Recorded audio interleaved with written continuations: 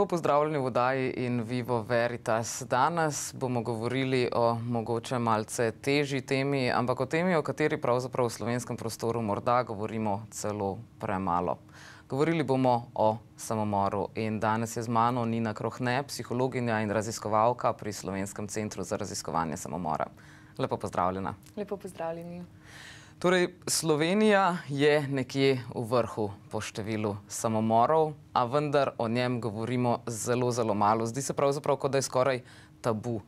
Zakaj se nam to dogaja? Ja, res je, Slovenija žal, predvsem na evropskem nivoju, spada v sam vrh.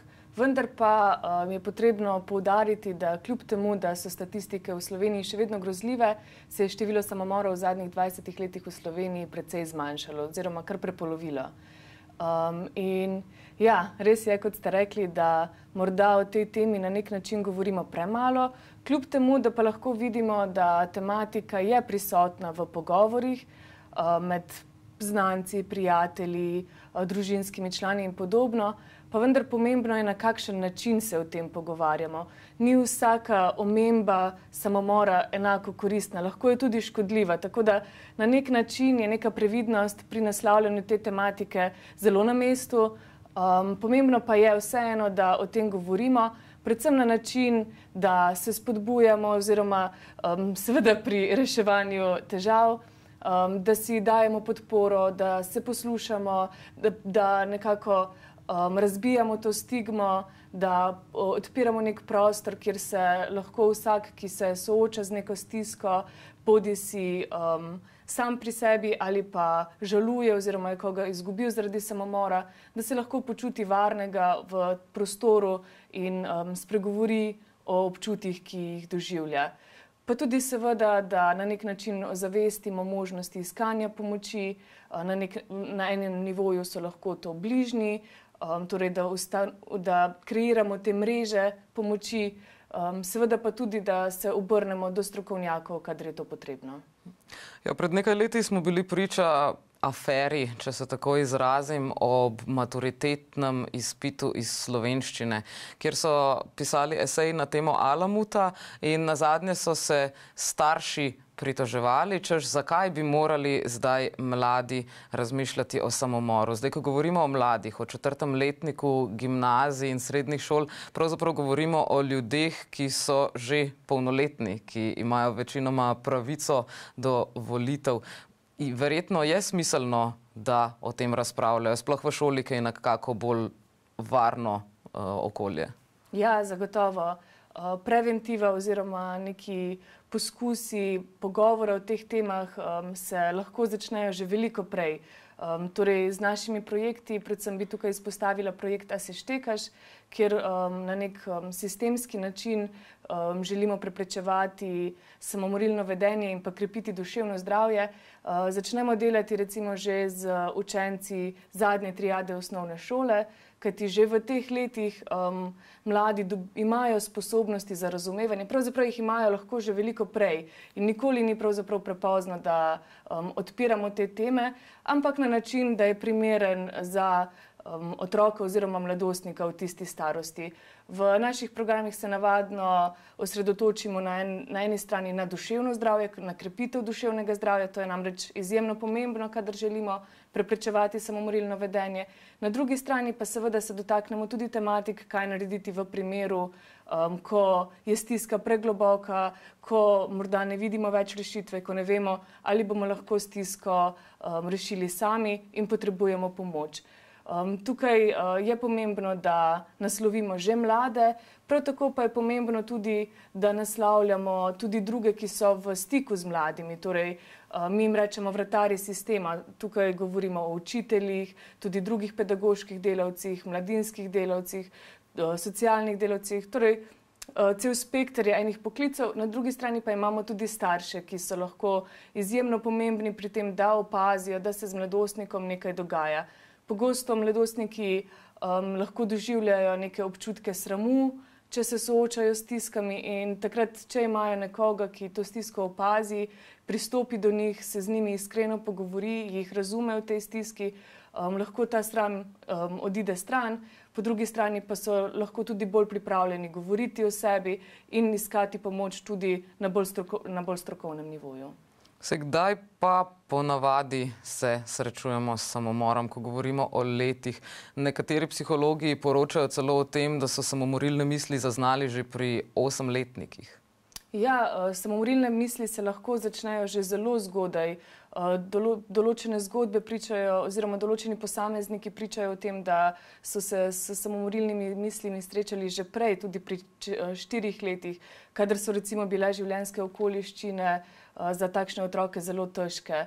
Um, sicer pa uh, je nekako tako, da z leti seveda naraščajo, oziroma pogostost teh misli v skupnosti narašča z leti. Zelo malo bo otrok, ki razmišljajo o tem, vendar pri mladostnikih pa se um, število takih, ki razmišljajo o samomoru, že povečuje. In, um, naše raziskave kažejo, da je nekje okoli ena četrtina mladih, um, ki recimo so že pomislili na to, ampak na različne načine. Seveda se je tukaj tudi potrebno zavedati, um, da bo vsak to reševal na svoj način in da seveda večina izmed njih um, ne bo imela poskusa samomora ali celo umrla zaradi samomora. Vsekakor pa je vsako izmed teh misli, vsako izmed teh um, razmišljanj potrebno vzeti resno in ukrepati in takem mladostniku ponuditi podporo, oporo, um, pomoč, biti z njim, včasih tudi samo v tišini,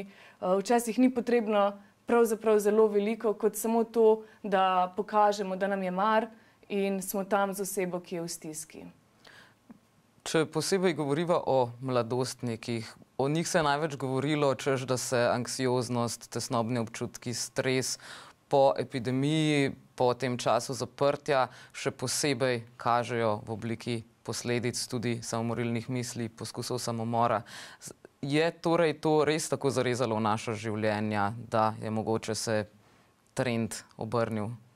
Ja, zagotovo um, epidemija oziroma predvsem z njo povezani ukrepi so predstavljali en dejavnik tveganja oziroma zmanjšali možnosti, da ljudje v tistem času um, krepijo svoje varovalne dejavnike. Torej nekatere, nekatere dejavnosti, kot je tudi um, šola, recimo, ki mladostnikom lahko omogoča neko strukturo, prav tako omogoča nek, um, pa ne, ne zgolj miselni kognitivni razvoj, ampak tudi socialni razvoj um, je bila um, ne, nedostopna in to zagotovo je pustilo posledice. Pri marsikomu, ki se je soočal z določenimi stiskami, je bila šola lahko velik varovalni dejavnik, tudi za tiste, ki recimo živijo v okoljih, ki morda um, niso najbolj zdrava, niso najboljša. Tudi za te je šola predstavljala eno, eno mesto, kjer so lahko bili varni um, pa, pa tudi za številne druge, ki se soočajo morda z določenimi učnimi težavami, morda tudi s kakšnimi drugimi, um, morda neurotipskimi težavami in podobno. Torej, šola zagotovo je en pomemben varovalni dejavnik in ko je bila oduzeta oziroma ta možnost strukture in um, načina poučevanja, um, je to lahko povzročilo marsikatere stiske. Tudi za vse tiste mladostnike, ki se naprimer soočajo z socialno anksioznostjo ali pa anksioznostjo pred testi, um, vemo, da ravno izpostavljenost tem dejavnikom je tista, ki um, na, dolgi, na, na dolgi rok rešuje te težave. In um, s tem, ko so se ti mladostniki, pa če rečem po domače, nekako potuhnili, so se te težave pravzaprav ukrepile. Kljub temu, da se je zdelo, da um, na prvi pogled se izboljšujejo, kajti niso bili izpostavljeni tem stresorjem, vendar pa na dolgi rok ima to lahko slab učinek. In potem, ko je ponovno treba zagnati, vsi ti strahovi, vse, vse te, uh, vsi ti zadržki lahko pridejo na dan in, lahko, in to je lahko veliko hujše, kot če se postopno izpostavljamo vsem tem izzivom, uh, ki jih tudi šola prinaša. Se kateri pa so tisti dejavniki, ki ponavadi najbolj vplivajo na kaj takega? Bi lahko rekli, da se pri določenih družbenih skupinah bolj pogosteje kažejo kot pri nekaterih drugih?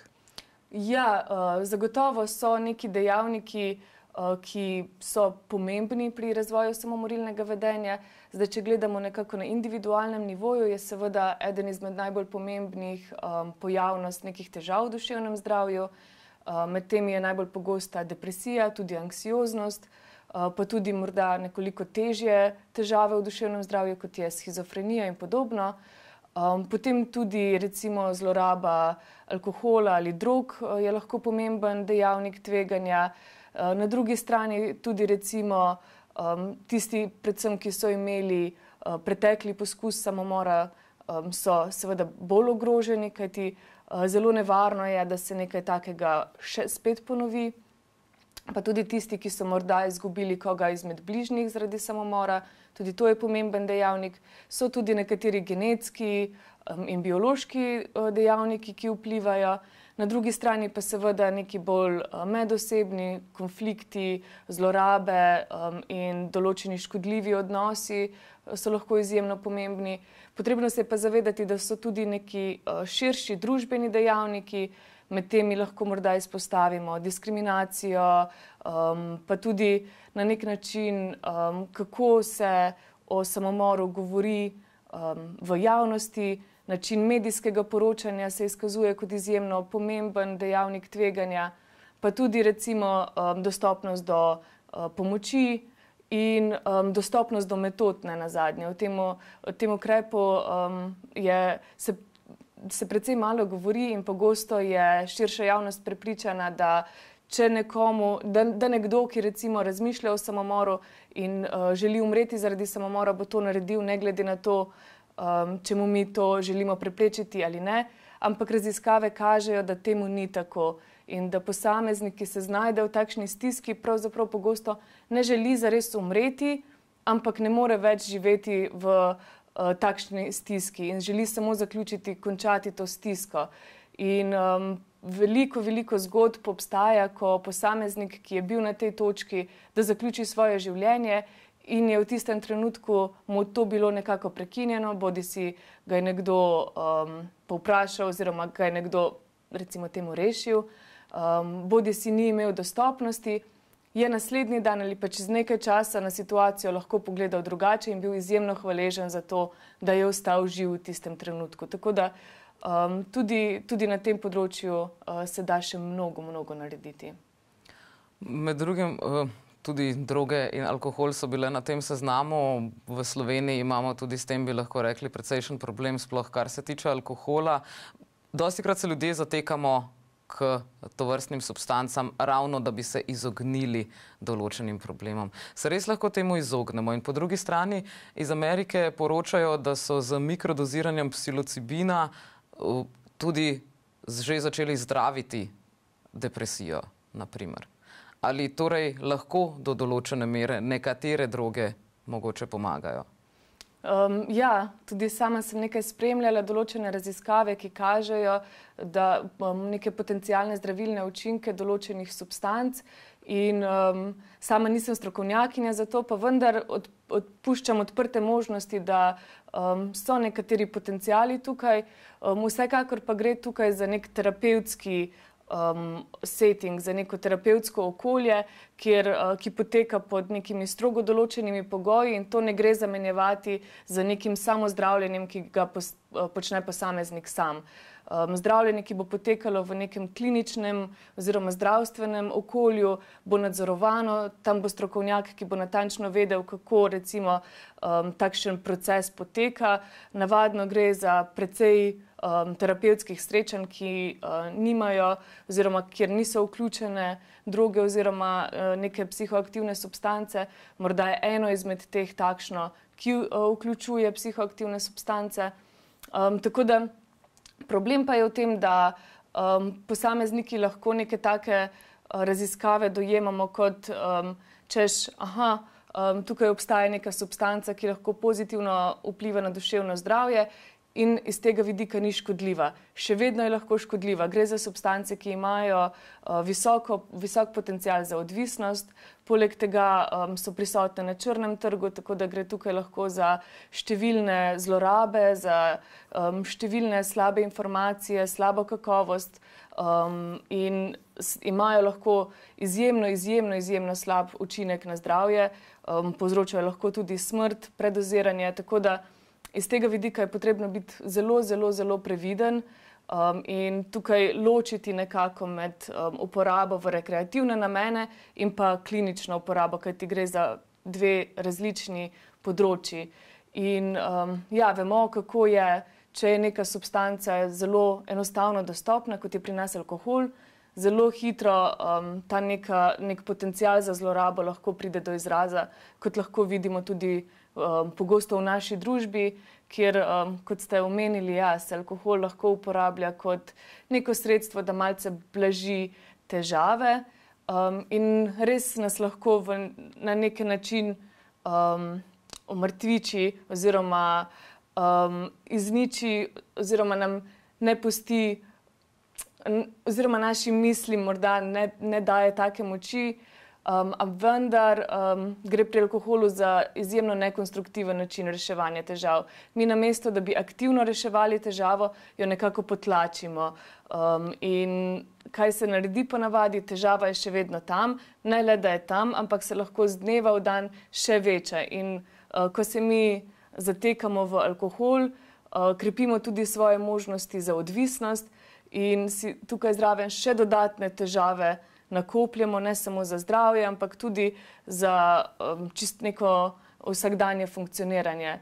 In um, samomor in alkohol sta pravzaprav zelo povezana. Ne malo je primerov, kjer posamezniki um, so bodi si v opitem stanju, um, bodi si so imeli težave z uh, zlorabo alkohola, potem poskušali ali celo umrli zaradi samomora. Tako da um, Nacionalni inštitut za javno zdravje je ravno alkoholizem in samomorilno vedenje prepoznal kot dve najbolj ključni področji um, za, za krepitev duševnega zdravja v Sloveniji in sta um, izpostavljeni tudi v resoluciji za krepitev duševnega zdravja. Če imamo torej v naši bližini nekoga, ki zlorablja alkohol, je torej to očitno neko opozorilo. Ali pa lahko kot bližnji opazimo kakšne znake, ki bi morebiti lahko nakazovali na to, da posameznik razmišlja o samomoru? Ja, um, lahko opazimo. Uh, takšni posamezniki pogosto um, svojo stisko komunicirajo na nek način. Včasih lahko tudi s, kak, s, s pomočjo kakšnih šal, včasih lahko um, vidimo tudi določena mi rečemo temu parasuicidalna vedenja. Torej, da nekdo nima ravno um, neke, neke kontrole nad svojim vedenjem, oziroma se naprimer, um, napije do, um, do takšnega stanja, da ne, ne zmore več funkcionirati, um, oziroma um, vzame večjo količino drog, se ukvarja s kakšnimi adrenalinskimi um, športi, oziroma, drugi, oziroma recimo um, divja po cesti, se nevarno vozi z motori in podobno. To vse lahko nakazuje na neko zmanjšano voljo do življenja, na morda neko um, mišljenje, da um, je življenje lahko brezsmiselno, na neko, um, kot da je posamezniku malce vseeno, če preživi ali um, umre. Tukaj ne gre prav za izrazito samomorilno vedenje, aktivno, pa vendar kaže pa na nek odnos, um, da morda v zadju uh, se skriva neka, um, neka manjša želja po življenju, recimo temu. Potem tudi posamezniki, ki recimo, uh, predvsem spremembe v vedenju, so tiste, ki pogosto uh, nakazujejo na to, da se nekaj s posameznikom dogaja. Če je nekdo bil prej uh, precej družaben, kar naenkrat pa se začne um, zapirati vase, drži zase to lahko kaže, da se z njim nekaj dogaja. Nekdo, ki poroča o um, nekih občutkih žalosti, brez smisla. Predvsem, recimo, kadar poroča o tem, da ne vidi nekih um, izboljšav oziroma potencijala v prihodnosti, to je velik znak, um, da se lahko razvija samomorilne, neke samomorilne misli oziroma celo vedenje.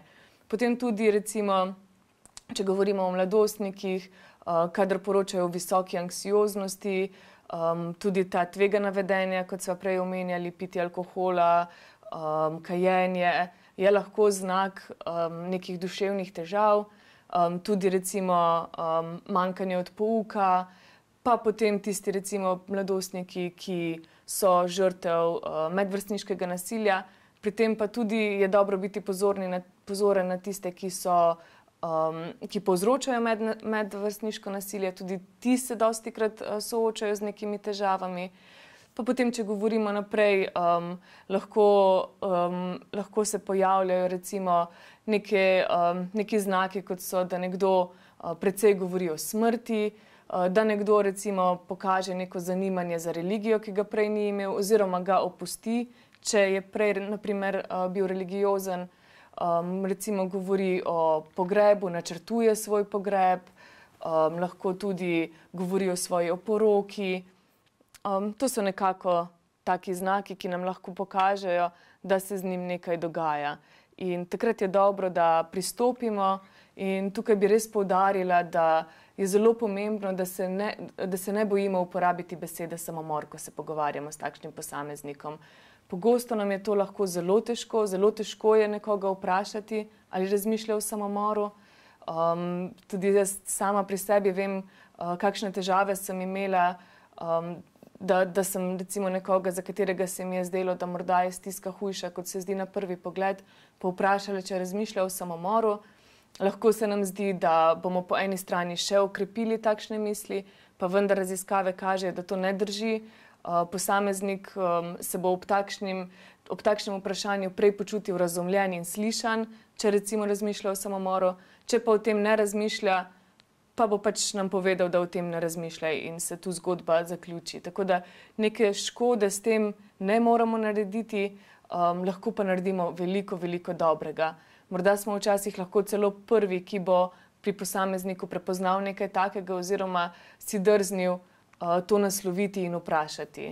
In uh, glede na moje izkušnje, pa tudi izkušnje mojih sodelavk in drugih um, strokovnjakov, s katerimi sem se pogovarjala, um, se takrat, ko recimo ima nekdo možnost govoriti o tako globoki stiski, lahko v njemu marsikaj prebudi. Tudi uh, sama sem doživela, kako se je vzdušje, naprimer v prostoru, zelo spremenilo. Um, to so res neka, neke najbolj globoke stiske, ki jih posameznik doživlja. In ko smo lahko z njim ob takšni stiski, je to res lahko izjemne, izjemnega pomena in um, ima že samo po sebi lahko zelo terapevtski učinek. Pa verjetno je dobro tudi, da mogoče omenimo možnost strokovne pomoči, ali to nudite tudi vi pri centru, ali vsaj pomoč, kako priti do nje. Mnogi pravijo, da je psihiatrov, ki jih lahko dobiš na napotnico, premalo, za psihoterapeuta nimajo vsi dovolj financ. Um, ja, zagotovo v našem prostoru je nek manjko strokovne pomoči um, oziroma brezplačno dostopne strokovne pomoči, pa vendar um, nas naj to ne ustavi, kajti še vse, kljub temu pa pomoč je na voljo. In um, ja, zagotovo ob takšnih stiskah je izjemno pomembno, da recimo, če opazimo pri prijatelju, znancu ali komorkoli drugemu, um, ga napotimo naprej, oziroma smo kar z, z njim tam, oziroma gremo z njim. Recimo, lahko, po eni strani je to lahko um, osebni zdravnik, uh, ki nam bo potem dal napotnico ali za psihiatra, za kliničnega psihologa. Um, druga zelo, zelo prikladna možnost sedaj v Sloveniji pa so centri za duševno zdravje in pa centri za duševno zdravje otrok in mladostnikov, ki delujejo zdaj že na številnih lokacijah uh, po Sloveniji in kamor lahko pridemo brez napotnice. Tam poteka triaža in um, oseba, ki je zaposlena uh, na triaži, bo vedela, kam nas poslati oziroma kaj narediti. Zaposleni pa so psihologi, psihiatri, klinični psihologi, socialni delavci, torej celoten spektr različnih uh, poklicev, ki so tam pristojni za reševanje nekih stisk. In um, to je izjemno dobra možnost, potem velja omeniti tudi um, različne. Brezplačne telefone, ki nam lahko nudijo neko podporo, predvsem, kadar je stiska akutna. Kot sem prej omenila, pogosto uh, pri posameznikih, ki so v neki stiski, ta ni vedno enaka. Pridejo določeni momenti, včasih so neki, mi rečemo temu, sprožilci, um, to so lahko kakšne uh, pri mladostnikih, naprimer slabe ocene, pa potem tudi pri vseh ostalih uh, razveze, smrt koga bližnjega, selitve, torej neke, taki, neke življenjske okoliščine, ki nam zamajajo uh, ravnovesje in lahko sprožijo ta plas um, teh um, težkih misli in povečujejo našo stisko. In takrat, ko recimo je ta stiska najbolj globoka, um, je dobro, da se z nekom v tistem trenutku pogovorimo, in če nimamo med bližnjimi take osebe, se lahko obrnemo tudi na uh, različne telefone. Pa tudi včasih je morda dobro, da, da, da govorimo z nekom, ki je nekako bolj neutralen. Včasih med bližnjimi je kakšne stvari težje povedati, imajo večjo težo, tako da um, imamo tam na drugi strani lahko strokovnjaka, um, ki bo vedel, kako odreagirati. Potem tudi recimo svetovalnice po svet. Delujejo v širom Slovenije po večjih lokacijah in nudijo brezplačno svetovanje, vendar pa tukaj ne gre za psihoterapijo. Tako da, ko je stiska um, pregloboko, oziroma če so težave nekako bolj ukorenjene in uh, potrebujejo dlje časa za reševanje, takrat seveda um, so bolj primerne, um, kot sem že prej rekla um, inštitucije v okviru zdravstva, ali pa na drugi strani uh, psihoterapevtski uh, pristopi, ki um, v veliki meri pri nas uh, potekajo na um, nekem zasebnem nivoju. Če sem prav seznanjena, jeseni pripravljate sem seminar, mednarodni seminar na temo samomora. Bi nam povabili tudi tiste, ki more biti razmišljajo o samomoru, ali gre tukaj res bolj za akademsko srečanje, kjer se boste lotili česa preprečevanja, samih analiz, česa točno?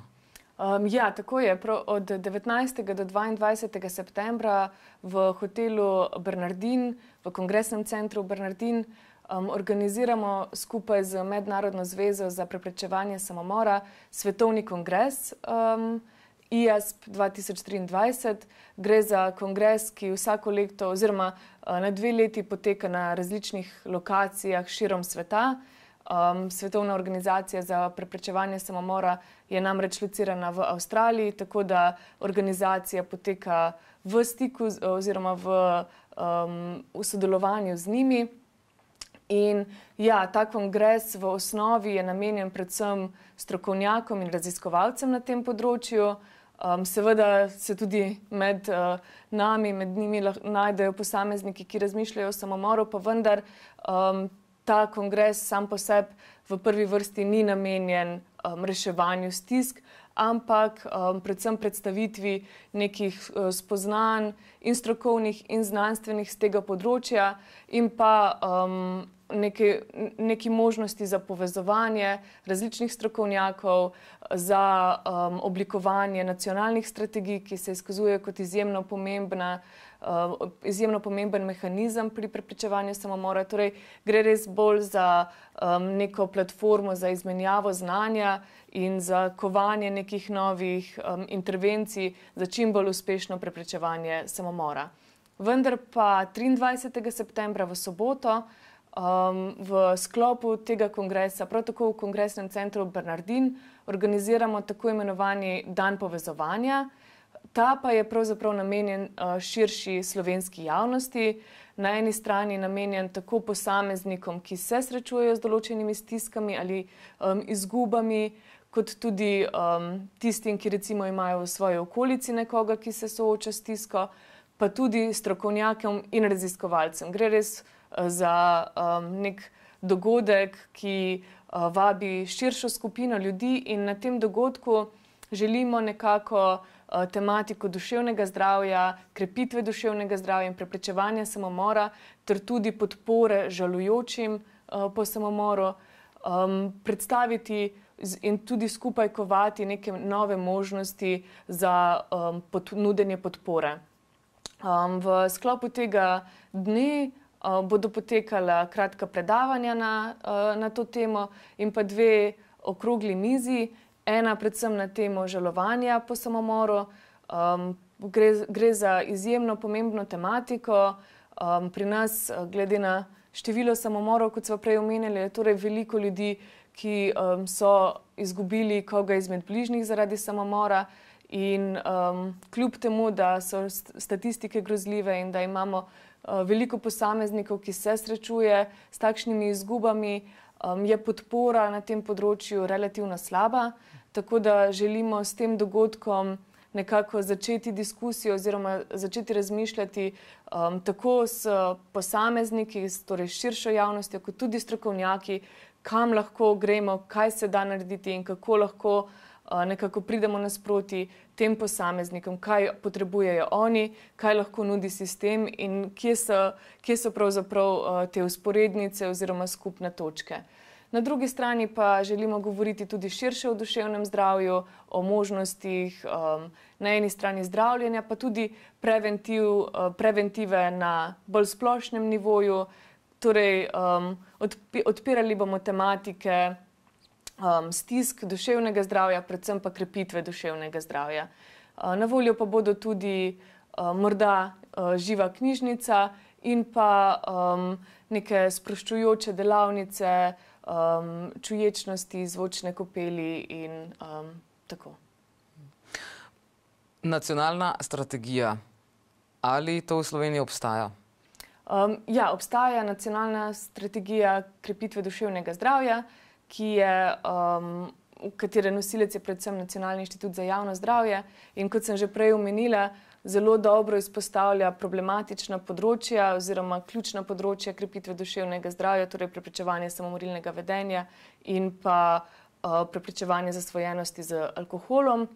In um, ja, seveda pa um, tukaj so potrebni koraki za uresničitev, kljub temu pa lahko vidimo, da vsi te centri za duševno zdravje, ki se v zadnjih letih odpirajo, so že en zelo, zelo dober. Um, korak v pravo smer, kjer je namen, da pravzaprav um, ta pomoč in podpora pri duševnem zdravju ni le um, institucionalizirana, oziroma um, se bolj približa skupnosti, bolj približa ljudem, in zato da je ta most med pomočjo, oziroma med posameznikom in pomočjo, nekako čim manjši, in da je pomoč čim bolj dostopna. Tako da uh, ti centri za krepitev zdravja so zagotovo um, že um, en, en, le, en lep korak v pravo smer.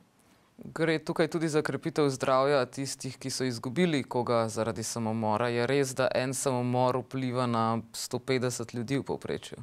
Ja, um, res je. En takšen samomor ima lahko izjemen vpliv na skupnost. Starejše raziskave so govorile o tem, da je nekje šest posameznikov um, zaznamovanih, novejše pa kažejo, da je ta številka veliko večja. Um, številka zaenkrat je nekje 135, ampak to je zelo okvirno. Um, vsekakor pa velja um, prepoznavati, da nek takšen samomor ima lahko vpliv na eni strani, seveda za bližnje, pa morda tudi za tiste, ki si z osebo niso bili v tako bližnjem stiku. Uh, pogosto lahko pride do tega, da um, se nekdo poistoveti s tem posameznikom, torej da nekdo um, v tem posamezniku prepozna tudi svojo stisko, svojo situacijo, in um, takšnemu posamezniku lahko samomor um, predstavlja neko schemo reševanja težav. težav. Torej, kar naenkrat samomor postane neka možnost um, reševanja stiske. In tu seveda velja priznavati, da gre uh, za nek način reševanja stiske, vendar pa si velja zapomniti, da da samomor vseeno je nek um, končna um, rešitev za težavo, ki je prehodna. In torej um, še vedno, seveda, mi ustrajamo pri tem, da se prej poslužimo vseh drugih možnih rešitev in navadno um, z drugimi možnostmi lahko stisko rešimo. In, ja. Ja, načeloma si kar želimo živeti, večinoma. Zdaj je pa veliko govora bilo tudi o medicinski pomoči pri samomoru. Nekateri to enačijo z eutanazijo, čeprav ne gre ravno za isto stvar, pa vendar. Kljub temu, da govorimo veliko o preprečevanju samomora, tukaj govorimo o možnosti omogočanja samomora. Verjetno so prav moralne stiske glede tega vprašanja tiste največje. Kaj pa psihologi mislite o tem? Ja, seveda tukaj je um, en kup etičnih dilem, ki se pojavlja. In um, kot spremljam diskusije, se zdi, da so stališča precej uh, različna, nasprotujoča si. In um, tudi jaz tukaj ne bi mogla govoriti v imenu vseh psihologov. Um, seveda pa um, ja, je tudi za nas suicidologe, torej tiste, ki se ukvarjamo z raziskovanjem in preprečevanjem samomora, tukaj izjemno um, nekako konfliktno področje. Na eni strani seveda um, se trudimo samomore preprečevati, na drugi strani pa tukaj govorimo, mi raje rečemo pomoč pri umiranju kot pri samomoru, kajti morda gre na nek način za drug fenomen um, kot pri samem samomoru. Um, zdaj, kot um, spremljam, recimo um, po eni strani tukaj pri um, omogočanju uh, pomoči do umiranja, govorimo predvsem o posameznikih, ki so recimo uh, nekako neozdravljivo bolni, uh, ki se res znajdejo v nekih situacijah, kjer druge pomoči nekako ni več. Um, spremljam tudi mnenja določenih um, um, posameznikov, ki delajo v palijativni oskrbi in pravijo, da tukaj imamo še uh, mnogo dela in da tukaj. Da najprej bi se morda bilo treba lotiti drugih vprašanj, torej izboljšanja palijativne oskrbe in šele na to govoriti o, o nekih takšnih naprednih um, metodah. In res ostaja vprašanje, ali je naša družba, uh, slovenska družba, že zrela, da um, uvedemo nek takšen ukrep, kljub temu, da bi seveda lahko bil um, včasih koristen, ampak kdaj je koristen, kdaj je škodljiv, tukaj je en kup nekaj uh, nekih uh, dilem, uh, katerih se je potrebno zavedati in ki jih je potrebno reševati. Um, sama vidim, pri, recimo, predvsem, kadar govorimo o duševnih stiskah, uh, Eh, neko tako možnost, recimo, um, pomoči pri umiranju kot izjemno pomemben uh, mehanizem presejevanja, kajti posameznik, ki je v stiski, bo torej o tej stiski spregovoril in uh, tak posameznik je lahko. Um, Takem posamezniku lahko torej omogočimo tudi druge načine pomoči. Um, to je en način, kako pride do tistih, ki najbolj trpijo, in pri duševnih stiskah vemo, da um, številne stiske lahko rešujemo. Um, so neke izjeme, um, ki, kjer so te dolgotrajne, kjer um, morda pomoči ni, pa vendar to naj ne bo nek model. Um, nekak, um, cilj je ta, da naredimo prej vse, uh, da posamezniku izboljšamo um, nekako kvaliteto življenja oziroma rešujemo te, to stisko. In vkolikor se ti poskusi morda v nekem časovnem obdobju izkaz, izkazujejo za neuspešne, potem ponovno razmislimo o nekih takšnih možnostih. Um, tako da tukaj zagotovo bo potrebnih še kar nekaj razprav, kar nekaj tudi um, zgledov pri, um, posa, pri um, um, državah iz um, drugih državah Evropske unije, recimo, to, ali pa tudi širom sveta, Kanada, Nizozemska, Belgija, um, kjer so neke takšne možnosti že na voljo.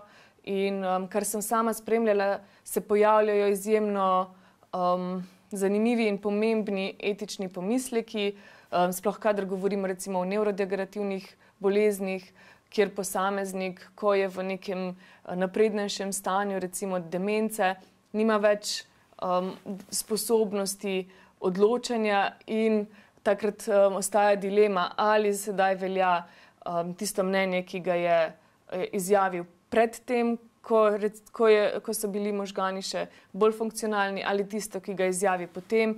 Torej, en kup je nekih sivih področji. Um, in predno se spustimo na nekaj takega, je zagotovo vredno razmisliti, um, kje ta področja so, kako jih reševati in narediti uh, neko dobro podlago, da ne pride do zlorab, da ne pride do um, nekih nepravičnih tretmajev, do um, raznih težav in podobno. Zdaj se sicer bliža jesen, je to tudi eden od tistih bolj kočljivih delov leta, ko se zgodi več samomorov? Um, zdaj, natančnih informacij za zadnje leto, oziroma tudi za Slovenijo, mislim, da nimamo pravzaprav. Um, ampak uh, neke raziskave iz tujine kažejo, da je predvsem pomlad uh, nekako najbolj nevaren letni čas, če rečemo temu tako, pa različni prazniki in podobno, kajti pogosto um, so lahko sprožilec, uh, je ravno ta kontrast, nekako, ko se vse prebuja, ko gre ljudem dobro, tebi pa ne gre, um, takrat postane še težje. Um, videli smo tudi recimo med um, zaprtjem, med COVID-om, se je v Sloveniji uh, število samomorov, mislim, da nekoliko znižalo. In pogosto je to, da ko so vsi nekako v stiski, ko se vsem dogaja slabo, je to lahko nek varovalni dejavnik. Um, šele takrat, pa, ko drugim gre bolje, um, mi pa nekako ostanemo v tem stanju stiske, uh, takrat ta postane hujša. Torej, zdaj na področju, kjer so doživeli velike izgube, na področju poplav, posebej Savinska dolina, Koroška, Mozirje in podobno, ne pričakujemo povišanja samomorov, češ odplavilo mi je hišo, ne vem, kaj naj naredim, z mano je konec. Ja, tukaj seveda to napovedovanje je vedno neka nehvaležna naloga, uh, pa vendar ja, glede na teorije in oziroma glede na pretekle raziskave se izkazuje, da v času nekih takšnih stisk skupnost pogosto skupaj, um, stopi skupaj, um, si pomaga, uh, prisoten je nek občutek povezanosti, solidarnosti, gre za um, neko nevarnost oziroma za neko, nek izziv, um, ki nas poveže in katerega moramo reševati. Um, tako da načeloma um, to naj ne bi predstavljal dejavnik tveganja, vprašanje pa ostaja, kaj se bo pa zgodilo potem, ko bo nek ta uh, val, uh, ki ga sedaj doživljamo, tudi lahko spremljamo res uh, izjemne um, geste solidarnosti, povezanosti, občutek skupnosti je um, nekako zelo prisoten. In um, ja, vprašanje, kot sem omenila, obstaja, kaj se bo zgodilo potem, ko morda se ta stiska akutna nekoliko pomiri in um, ko recimo ti posamezniki um, ostanejo sami. Morda je pomembno, da um, solidarnost ne ohranjamo zgolj v takšnih trenutkih, ampak um, smo pazljivi, da jo ohranjamo tudi kasneje. Um, tudi ko se vse umiri, da smo še vedno tam en za drugega, da kljub temu, da smo sedaj nekako recimo glavnino sanirali, popravili, um, da smo še vedno uh, nekdo, ki pokliče, kako si pa danes. Um, tudi nekaj mesecev od danes, tudi čez eno leto, čez dve leti, kajti uh, za posameznike, ki recimo so zdaj v tej stiski, um, se ta zagotovo ne bo rešila tako hitro um, kot. Um, kot kot se morda zdi na prvi pogled. Neke posledice lahko trajajo še kar nekaj časa in zato je pomembno, um, da te povezanosti ne izgubimo, ko naprimer um, odstranimo vas mulj in počistimo za seboj. Um, stiske lahko ostajajo tudi dlje. Tako da, um, ja, bodimo en z drugim, tudi ko bo uh, ta kriza navidezno zaključena pa tudi pozorni en na drugega, kaj ne. Ne na zadnje, dosti krat sicer, kako mu rečemo, kako si pričakujemo nazaj paušalen odgovor. A veliko krat se zgodi tudi, da ko nam kdo reče, kako si, nam reče, počutim se depresivno. Je to res že znak depresije, ki mogoče lahko vodi tudi v kaj hujšega? Kako lahko depresijo mogoče prepoznamo, če ni tako uh, izrečena na glas? Ja, um, iz te povedi še ne moremo točno sklepati. Mi se lahko počutimo depresivno, kakšen dan vsak izmed nas se kdaj počuti depresivno, in um, to je lahko popolnoma normalno počutje oziroma neko normalno um, psihološko doživljanje, kdaj nam gre malo bolje, kdaj nam gre malo slabše. Uh, to je čisto nekako zdrav in pričakovan potek. Um, če pa recimo neko tako depresivno um, ob, uh, razmišljanje oziroma depresivno počutje ustraja dlje časa, um, recimo nekaj mesecev, um, da kar nekako ne moremo um, zaživeti, da ne, ne čutimo neke posebne volje, nam primankuje motivacije, recimo težje upravljamo neka čisto vsakdanja upravila, tudi službo, um, da recimo. Ne čutimo, oziroma si ne želimo um, nekako stika z drugimi, um, se počutimo morda slabo v sebi, o, um, o sebi, ne zaznavamo nekega občutka lastne vrednosti, se počutimo nesposobne, se počutimo, da smo zgube in podobno. Um, morda imamo tudi neke težave s spanjem, s prehranjevanjem. Um, recimo, tudi um, nimamo želje po um, ohranjanju nekih čisto vsakdanjih higijenskih opravil um, ali pa pri pripravi hrane, pri včasih lahko uh, posežemo po še več hrane, pri drugih um, lahko um, manj jejo v tistem obdobju. Tako da um, to so nekako ti ključni znaki, predvsem če ustrajajo dlje časa. Um, mislim, da za diagnozo je potrebno, mislim, da je nekje pol leta, pa vendar ni, ni potrebno, da čakamo pol leta. Sami pri sebi pogosto vidimo, ok, zdaj pa to že traja recimo dva meseca, mesec, dva, um, takrat je čas, da um, poiščemo pomoč. Um, takrat morda uh, gre za, rešne, za resnejše stanje. In um, zagotovo, če nam nekdo reče, da se počuti depresivno, je dobro, da ga o tem malo več povprašamo. Da vprašamo, koliko časa že tra to traja, kako pravzaprav to izgleda. Ta beseda depresivno za vsakega morda izgleda drugače, s kakšnimi stiskami se sooča, kdaj je najtežje, um, um, kaj, kaj je že naredil recimo, v tej smeri, kaj, še, kaj si se, še želi. Po drugi strani pa lahko tudi povprašamo, kdaj pa je mogoče lažje, um, pa, kateri pa so tisti uh, prijetni trenutki. In um, če je takšnih zelo malo, je to lahko resen opozorilni znak. In um, dobro je, da če prepoznamo, da nekdo se že dlje časa s tem sooča, da res težko um, občuti neke občutke zadovoljstva, veselja, da so torej prisotni neki ti znaki, o katerih sem prej govorila, da takrat vprašamo tudi, če razmišljajo o samomoru in preverimo um, tudi to ogroženost in odreagiramo v skladu s tem, kar nam posameznik zaupa. Kaj pa, če nam posameznik zaupa, da ni srečen? Naprimer, živimo v kapitalizmu, v materialnem svetu, kjer nas prepričujejo, da če nekaj kupimo, da bomo zaživeli bolj srečno. Na družbenih omrežjih so ljudje vse čas srečni, lepi, bogati. Marsikdo si reče, jaz pa nisem tak, čeprav mora biti niti ne ve, da influencerji oziroma vplivneži živijo. Predvsej bolj borno, kot se vidi na teh posnetkih. Ampak to vse nekako nakazuje, da moramo biti vse skozi srečni. Je to normalno stanje duha, moramo biti srečni? Ja, seveda, kot sem že prej rekla, normalno stanje je nekako tako, da ob določenih trenutkih smo srečni, potem spet nismo. Na, naše življenje je nekako pestra paleta vseh teh čustev, ki jih doživljamo, in vsako izmed teh čustev ima tudi nek svoj namen, um, je nek znak za nekaj. In um, to, da preveč težimo k sreči, ima lahko pravzaprav zelo negativen učinek na naše duševno zdravje. Um, to, da se trudimo biti srečni, pogosto um, lahko rezultira v tem, da nam sreča vse čas uhaja, kajti smo v nekem konstantnem uh, stanju stresa, v nekem um, konstantnem iskanju nečesa in to iskanje um, navadno ni ravno prijetno za, naš, za naše telo, za naše duševno stanje.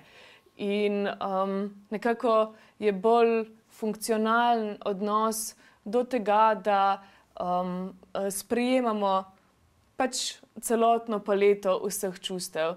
Um, sreča pogosto pride kot neka posledica, ko se nam neke stvari lepo poklopijo. Dobro je tudi, da imamo neke cilje in ko jih bomo, do, ko do, nek cilj dosežemo, navadno smo zadovoljni, um, ko imamo pred sabo neki ziv in nam ga uspe premagati, smo zadovoljni.